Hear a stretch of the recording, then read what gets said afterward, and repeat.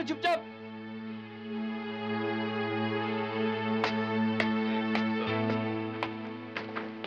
हमने यहाँ उन कैदियों को रखा है जो उम्र कैद की सजा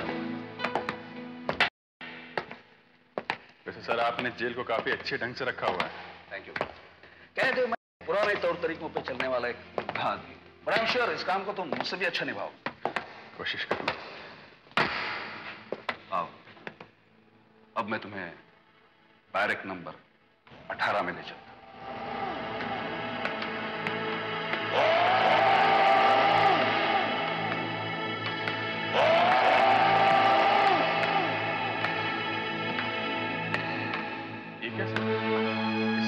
तो सारी कोठरियाँ खाली पड़ी हैं। यहाँ कोई कैदी नहीं? उसका क्या है कि जेल की दूसरी मंजिलों पर काफ़ी जगह थी। इसलिए हमने इस बैरक नंबर 18 को इस्तेमाल करना ज़रूरी नहीं समझा। हाँ लेकिन ऊपर सभी बैरक में दो दो तीन तीन कैदी थे। कुछ को तो यहाँ रखा जा सकता है। हाँ बिल्कुल रखा जा सकता है लेकिन क्या है देव कि ये बैरक दूसरे बैरकों से अलग और यहाँ की कोठरियाँ इनकी हालत कुछ ठीक नहीं है। लिहाजा हमने ये समझा कि जब तक इनकी मरम्मत ठीक तरह नहीं हो जाती इनका इस्तेमाल ही नहीं करेंगे।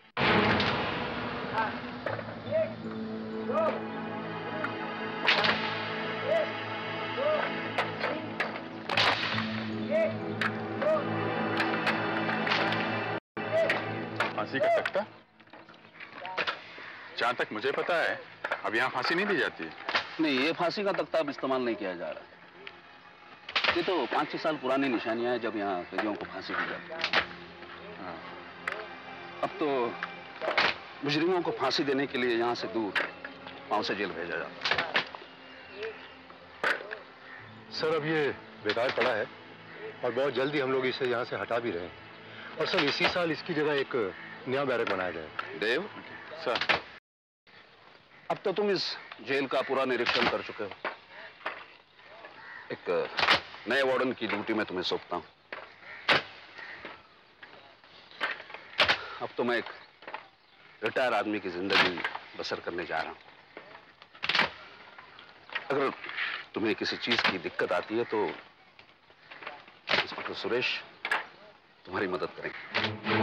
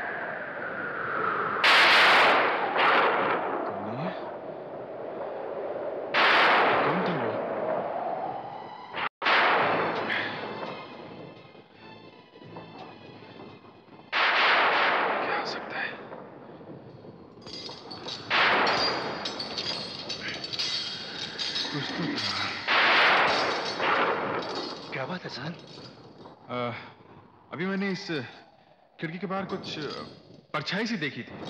मैं देखने के लिए बाहर गया था लेकिन वहाँ तो कुछ नहीं दिखाई पड़ा। सर मेरे ख्याल से बाहर ये जो बिजली चमक रही है शायद इसी की वजह से आपको कोई भ्रम हुआ है सर। नहीं नहीं नहीं वहाँ कोई आदमी था। मतलब परछाई सी थी लेकिन कोई था ज़रूर। अ, उसे गले में कुछ रस्सी सी थी। फांसी का फंदा। फांसी का फंदा सर? हाँ। खैर जाने दो।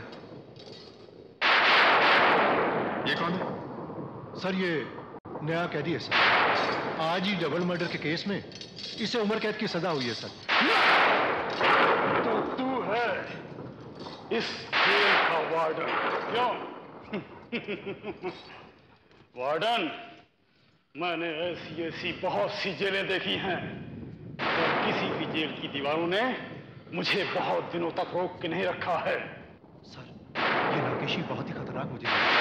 सर मैं सोच रहा था कि इसे बैरक नंबर दस में रखते हैं सर। बैरक नंबर दस तो पहले से ही काफ़ी भरी हुई है। तुम एक काम करो इसे तो खाली बैरक है ना बैरक नंबर अठारह में डाल दो। बैरक नंबर अठारह? सर मैं आपको पहले ही बता चुका हूँ कि वहाँ हम किसी को नहीं रखते सर। लेके आओ।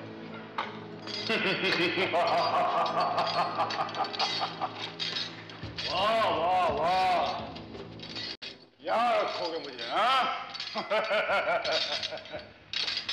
अरे, ऐसी बहुत सी जेलें देखी है वार्डन बस रुको। इसकी बेड़ियाँ खोलो। हाँ खोलो। खोलो खोलो। नाकेशी को ये गहने बहुत ज़्यादा पसंद नहीं है। खोलो। और जाके सब वार्डन को दे दो अपने। अंदर बंद कर दो। हाँ हाँ जाते हैं साहब जाते हैं। नाकेशी जैसे शेर को तुमने अठारह नंबर में रखा है हाँ?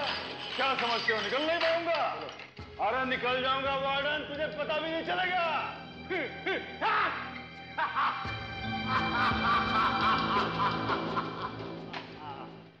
वाह रे नाकेशी वाह। तेरी इतनी दहशत कि तुझे अकेला रखा है। वाह, लेकिन कब तक? ऐसे निकलूँगा, ऐसे। हाँ? ये कौन आ गया भाई? अठारह नंबर में कौन सा पंछी और आ गया मेरे अलावा? हाँ? अरे कौन है है क्या?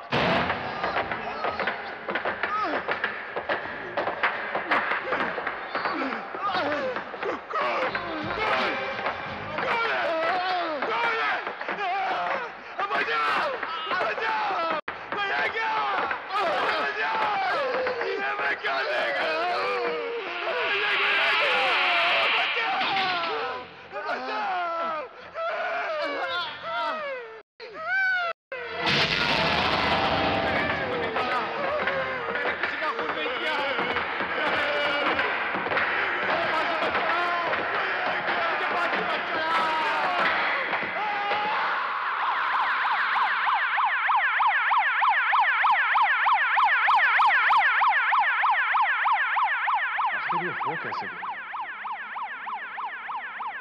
ना खूंखार अपराधी उसकी ये हालत सर मैंने आपको पहले बताया था ना कि ऐसे केसेस पहले भी कई बार हो चुके हैं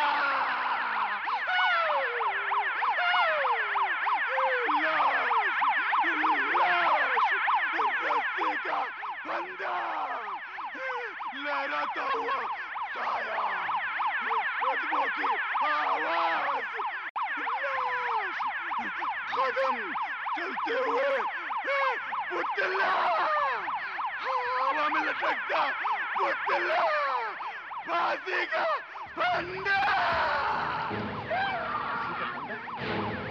किधर कहाँ देखा? फंदा कहाँ देखा? वो फांसी का फंदा ले जाओ इसे। हवा में लहराती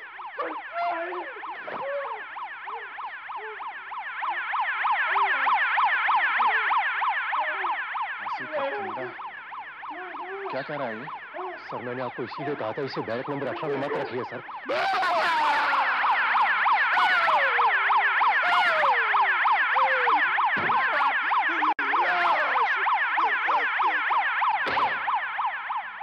पिछले पाँच सालों में सत्रह कैदियों को नर्वस ब्रेकडाउन हुआ है, जिसके कारण उन्हें हॉस्पिटल में भर्ती करना पड़ा। इनमें से तीन ने तो आत्महत्या भी करने की कोशिश की। और ये सब कैदी बैरक नंबर 18 में रखे गए थे। एग्जैक्टली exactly, सर और सर यही वजह है कि हम किसी भी कैदी को उस बैरक में नहीं रखते। और तो और सर हमारे संतरी भी वहाँ जाकर पहरा देने में घबराते हैं सर क्यों? सर इस बारे में मैं तो कुछ ज़्यादा नहीं बता सकता क्योंकि मेरी समझ से तो बाहर की बात है सर लेकिन हमारे संतरी बताते हैं कि वहाँ डरावनी आवाज़ें सुनाई देती हैं। अजीबोगरीब सी घटनाएँ होती हैं सर डरावनी आवाज़ें? अजीबोगरीब घटनाएँ? नाकेशी भी कुछ परछाई जूतों और दरवाजों की बात कर रहा था। क्या वजह हो सकती है जो वहाँ लोगों को पागल बना देती है? इस राज को जानने का एक ही तरीका है। आज की रात मैं खुद बैरक नंबर 18 में गुजारूँगा।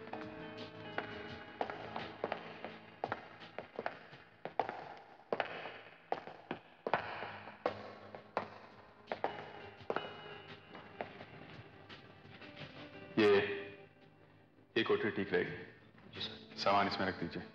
यस सर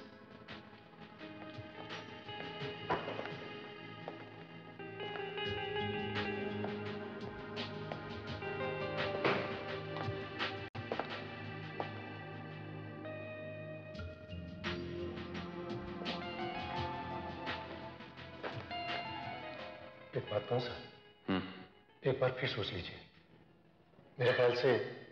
आपका ये फैसला ठीक नहीं है, सर? सिर्फ़ यही एक तरीका है पता लगाने का कि हकीकत में यहाँ क्या गड़बड़ है। तुम चिंता मत करो।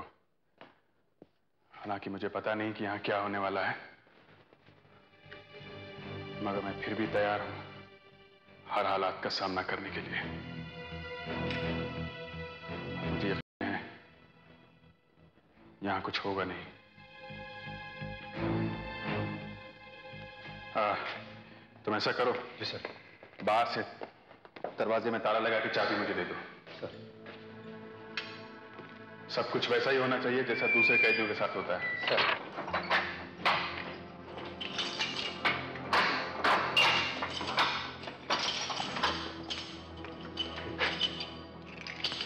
अब तुम जाओ यहाँ से। मुझे अकेला छोड़ दो।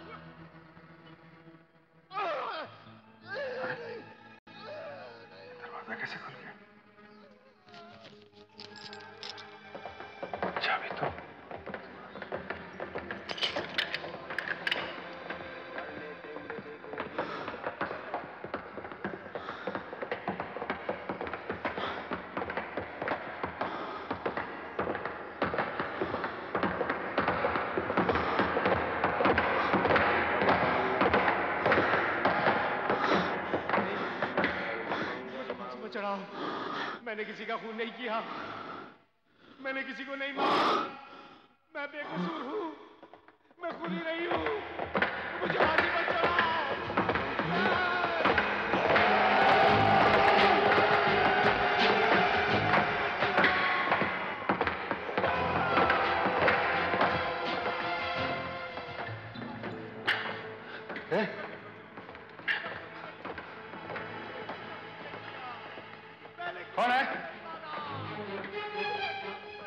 गोली मार दूँगा। है? किसी का खून नहीं किसी का नहीं मैं बेकसूर हूँ। मैं बेकसूर हूँ। मुझे बाजू पर चढ़ा।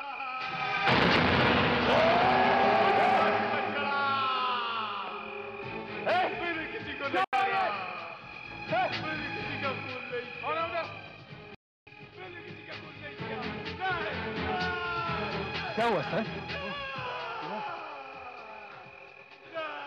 लेकिन सर, उधर तो कोई भी नहीं है, सर।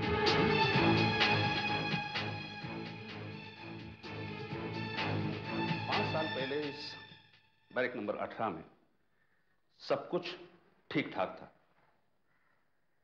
लेकिन अक्टूबर के महीने में जब मुकेश नाम के कैदी को इस बैरक में रखा गया, शायद उसी की वजह से ये सब कुछ हो गया। मुकेश? हम्म, एक मुजरिम था।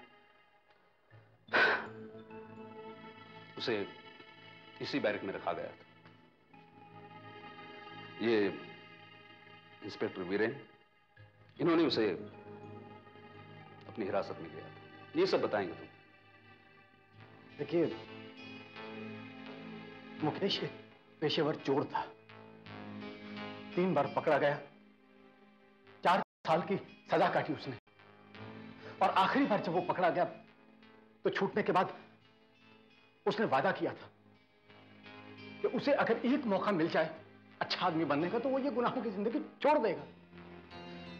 और देव,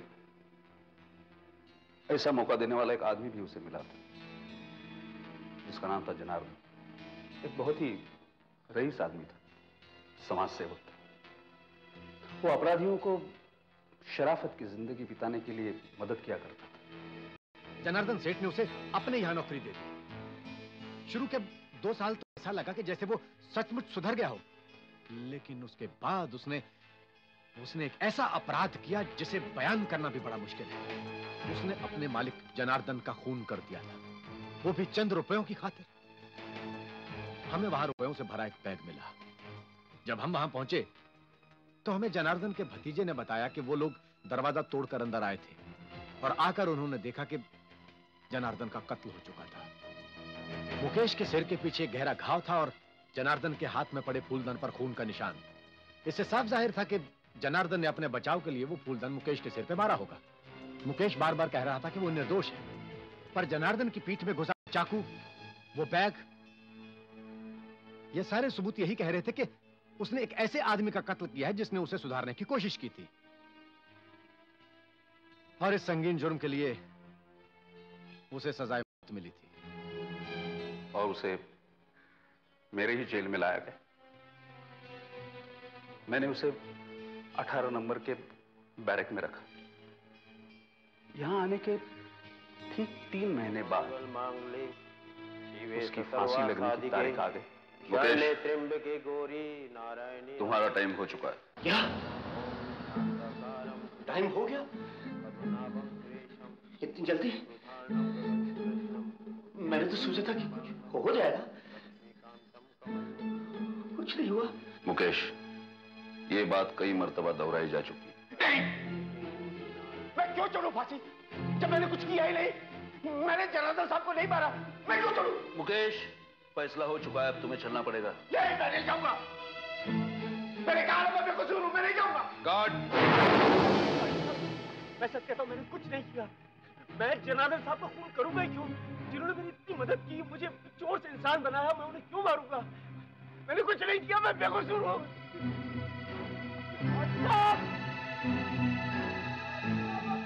पाँच बजने में दस मिनट।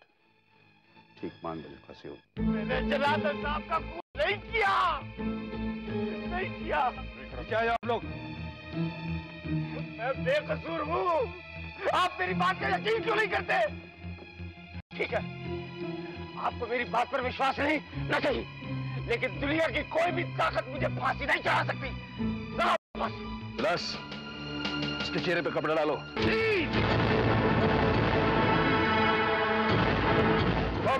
का लीवर काम नहीं कर रहा। है बात कर रहे हो तुम? छोड़ो उसे। कहीं देखो उठाओ यहाँ से जी साहब।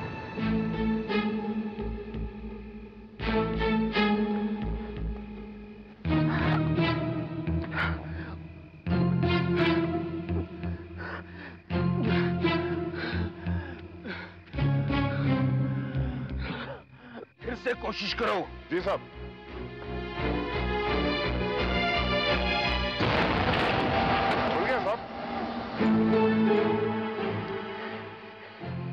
मैंने कहा था ना मैं बेकसूर हूँ। चाहे कितना भी ज़ोर लगा लो लेकिन मुझे फांसी नहीं दे सकते। कैदी को फिर से अपनी जगह पिलाओ उसके चेहरे पे कपड़ा डालो। फंदा डालो इसके गले में। तैयार हो जाओ तुम। एक। सब तो काम कर रहा है लेकिन ट्रैप डोर नहीं खुला है। फिर से कोशिश करो। एक।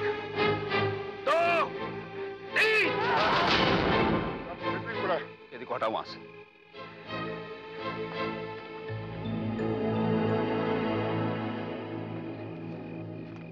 मैंने आपसे कहा था ना मैं बेकसूर हूँ।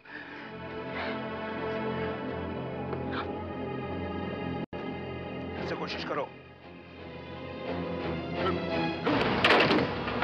तो खुल गया साहब।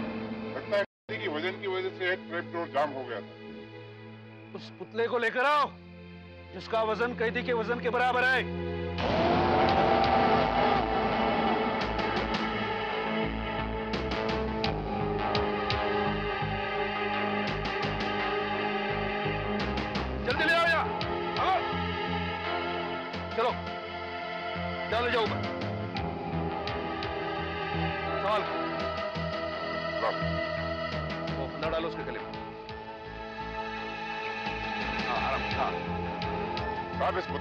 वज़न तो कैदी के वज़न के बराबर लगता है। फांसी लगा के देखो।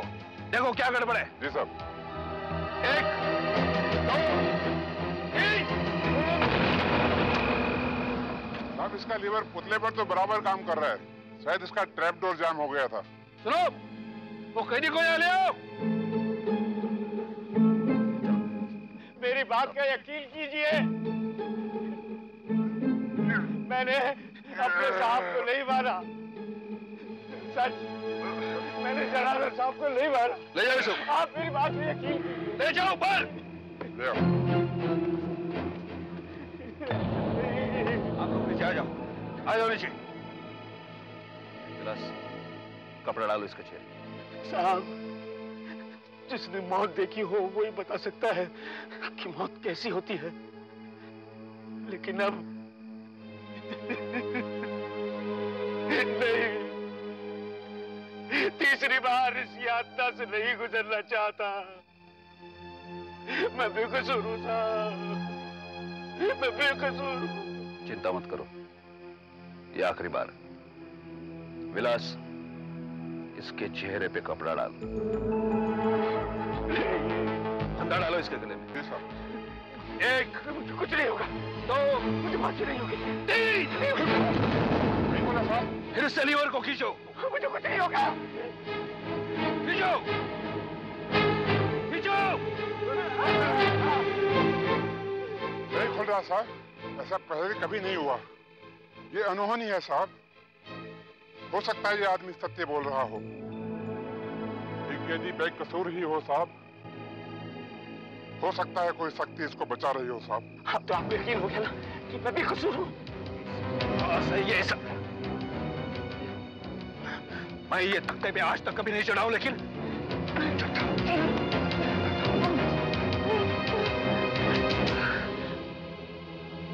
देख देख मुझे नहीं मालूम कि ये सब क्यों हो रहा है। हो सकता है कि हो सकता है कि तू बेकसूर है। हो सकता कि जो जो मैं कर रहा हूँ ना, वो गलत कर रहा हूँ फैसला करना मेरा काम नहीं मैं मैं अपनी ड्यूटी निभा रहा हूँ। मैं अपनी ड्यूटी निभा रहा हूँ और उसे उसे निभा के रहूँगा। याद रख, तुझे तुझे हज़ार बार मुझे लटकाना क्यों ना पड़े? मैं तुझे लटका के रहूँगा। देखिए साहब, मैं अभी तक ज़िंदा इसलिए हूँ कि मैं कसूर हूँ। ये बात मैं ही नहीं। यहाँ खड़े हुए सारे लोग अच्छी तरह से जानते हैं, और शायद आप भी। लेकिन इसमें आपका कोई कसूर नहीं है, क्योंकि आप तो अपना फ़र्ज़ निभा रहे हैं। अदालत ने और इस इंस्पेक्टर ने भी अपना फ़र्ज़ निभाया है। कसूर तो उस आदमी का है, जिसने मुझे फंसाया है। मैं अपनी किस्मत से और नहीं लड़ सकता।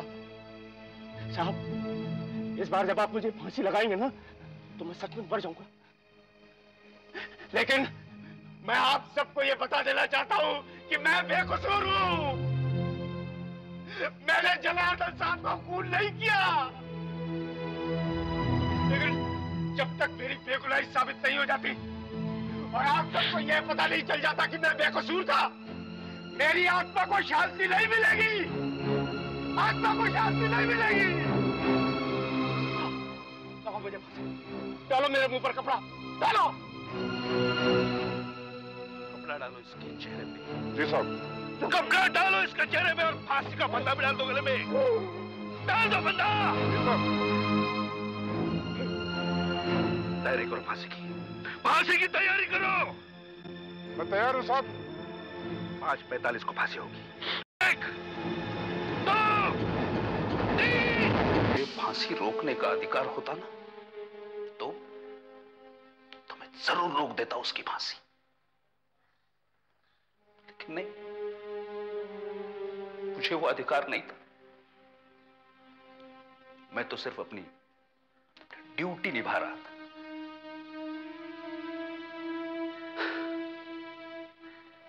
खैर,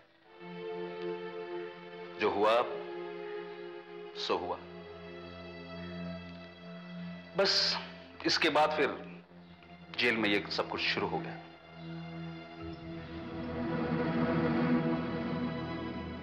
आपका मतलब है कि मुकेश की आत्मा अभी तक जेल में घूम रही है। और इंतज़ार कर रही है कि कब उसकी बेगुनाही साबित होगी। इस बात के अलावा और क्या कहा जा सकता है? बताओ बताओ ना तुम, क्या कहा जा सकता है? फांसी का मुझ पर इतना गहरा असर हुआ इसके बाद इस जेल में फांसी देना मैंने बंद करवा दिया देखिए मुकेश तो अब मर चुका है और हम उसे ज़िंदा नहीं कर सकते। लेकिन जो कुछ भी आप कह रहे हैं अगर वो सच है तो हमारा फ़र्ज़ बनता है कि हम उसकी बेगुनाही साबित करने की कोशिश करें। लेकिन देव साहब ये आप कैसे कर पाएँगे? इस केस की छानबीन मैंने खुद की थी। और अगर उसे फंसाया भी गया था तो फंसाने वाले ने इस बात का पूरा ध्यान रखकर प्लान बनाया था कि सारे मौजूदा सबूत मुकेश के खिलाफ हैं ये साबित करने के लिए कि वही खूनी है।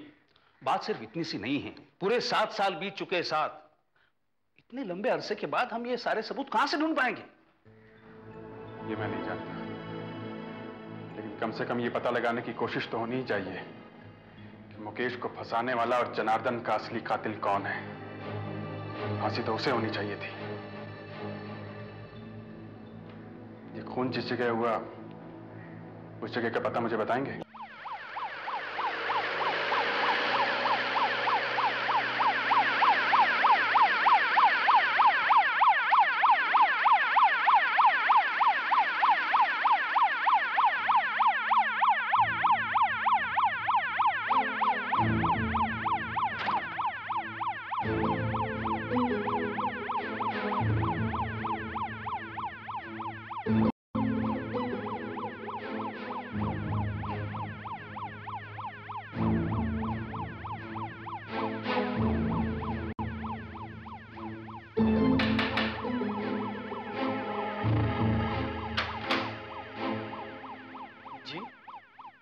जनार्दन साहब यहीं रहते थे? जी हाँ। उनके भाई मुरलीधर घर पे हैं या उनके बेटे शिशिर? जी शिशिर साहब जो है वो दिल्ली गए हुए हैं। उन्हें आने में एक हफ़्ता लग ही जाएगा। और मुरलीधर साहब का तो कोई भरोसा नहीं है। ऑफ़िस इस समय मैं ही अकेला हूँ। कहिए। जब वो आए तो उनसे बता दीजिएगा जेल का वार्डन देव आया था। जी अच्छा।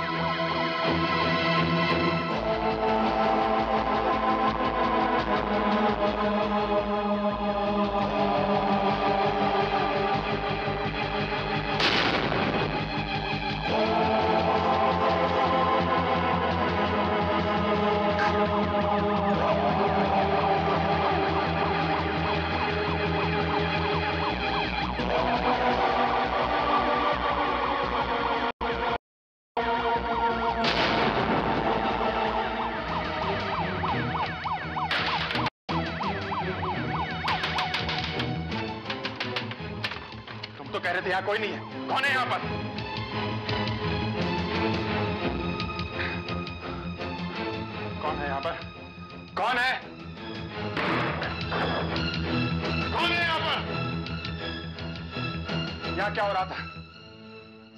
आपको बताया ना कि घर में कोई नहीं। लेकिन मैंने अभी देखा यहाँ कुछ हो रहा था।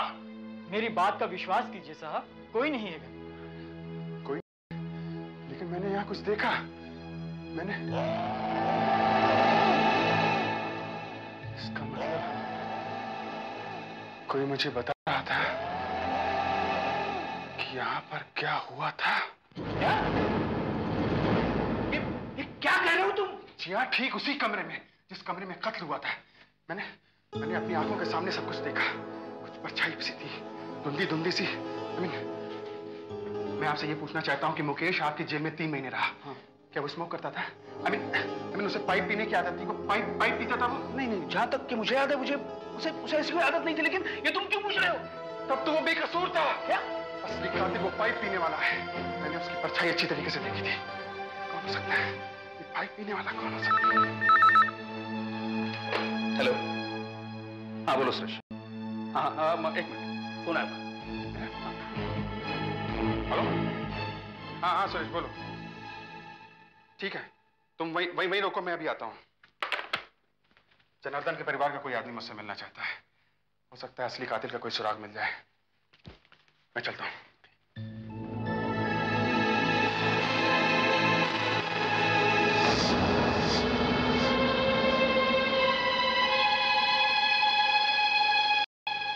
माफ़ कीजिएगा मुझे आने में थोड़ी देर होगी। आपको इंतज़ार करना पड़ा। मैं यहाँ का वार्डन देव हूँ। मुझे मुरलीधर कहते हैं। अच्छा अच्छा। आप जनार्दन जी के भाई हैं जिनके कत्ल का इल्ज़ाम मुकेश पर लगा था। मुकेश पे लगा था? खून के इल्ज़ाम का क्या मतलब? खून तो मुकेश ने किया था ना? जी नहीं ये सच नहीं है।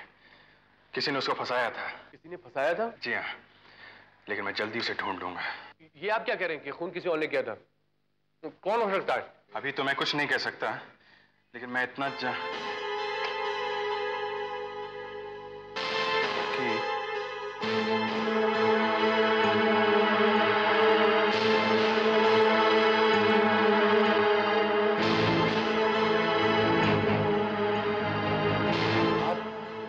आप कुछ कह रहे थे? हाँ हाँ मैं कह रहा था तुम मुरलीधर तुमने तुमने जनार्दन का खून किया है। तुम कातिल हो। ये क्या बकवास है। बकवास नहीं है। तुम ही ने अपने भाई का कत्ल किया है और झूठे सबूत इकट्ठे करके मुकेश को कातिल साबित कर दिया। मैं अच्छी तरीके से जानता हूँ ये सब तुमने कैसे किया था। मैं बताता हूँ। उस दिन तुम अचानक जनार्दन के कमरे में घुसे और तुमने देखा कि जनार्दन शायद रुपए गिन रहा था या बैग में रख रहा था। तुमसे ये सब देखा नहीं गया। तुम्हारे हाथ में चाकू था। वो चाकू तुमने उसके पेट में ठोक दिया। जनार्दन पे गिर गया। लेकिन तुम वहाँ से गए नहीं। तुमने वहीं खड़े होकर अपना पाइप जलाया। उसके बाद नौकर मुकेश की आवाज़ सुनकर तुम शायद वहीं कहीं छिप गए थे। नौकर जब अंदर आया, ये सब देखकर घबरा गया। लेकिन तुमने उसको भी नहीं बख्शा। तुम्हारे हाथ में फूलदान था। तुम चुपके से उसके पीछे आए और फूलदान उसके सिर पर तय मारा। उसके बाद अलमारी से बैग निकाला। उसमें रुपए डालकर मुकेश के हाथ में फंसा दिया ताकि सारा शक मुकेश पर जाए। बकवास है एकदम बकवास। ये बकवास नहीं है। तुमने पैसों की खातिर अपने भाई को मार दिया। जिसकी कीमत उस बेचारे मुकेश को अपनी जान देकर चुकानी पड़ी। ये ये तो कहानी है। इस पर कोई अदालत विश्वास नहीं करेगी वार्डन साहब। और बिना सबूत के तो बिल्कुल नहीं जो तुम्हारे पास एक भी नहीं है। जो भी तुम कहानी सुना रहे हो वो सिर्फ़ कल्पना है सिर्फ़ तुम्हारी कल्पना। मैं तुम्हारी ये फालतू की बकवास सुनने के लिए एक मिनट नहीं रुकूँगा यहाँ पर। मैं जा रहा हूँ। और देखता हूँ कोई मेरा क्या बिगाड़ सकता है। जरा ध्यान से जाइएगा। कहीं जल्दी आपको वापस यहीं ना आना पड़े। मुझे अपना रास्ता मालूम है समझा क्या क्या बकबक कर रहा था। सालों के बाद इसे पता कैसे चला? कुछ भी हो बिना सबूत के ये मेरा बाल भी बांगा नहीं कर सकता। देखता हूँ क्या बिगाड़ता है ये, ये मैं कहा आ गया? फालतू की टेंशन में मैं गलत मूड मुड़ गया। ये कितनी डरावनी लग रही है। एकदम सुनसान। अरे मैं कहा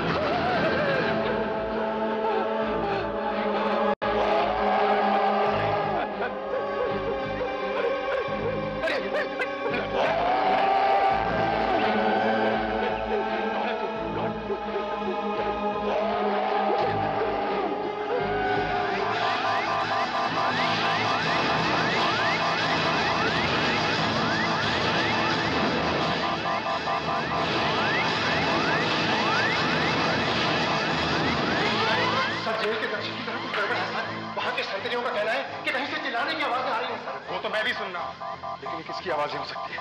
और आ भी रही है फांसी के तख्ते के पास ही कहीं से। चलो, जल्दी चलो।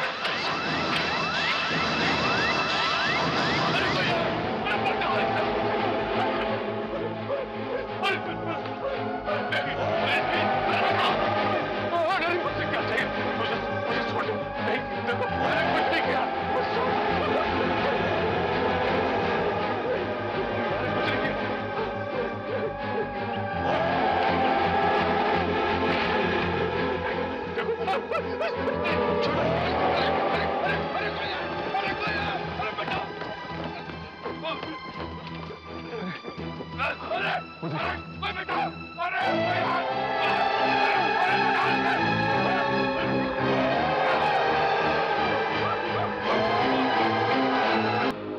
अब मैंने असली खूनी को सजा देकर अपना बदला ले लिया है।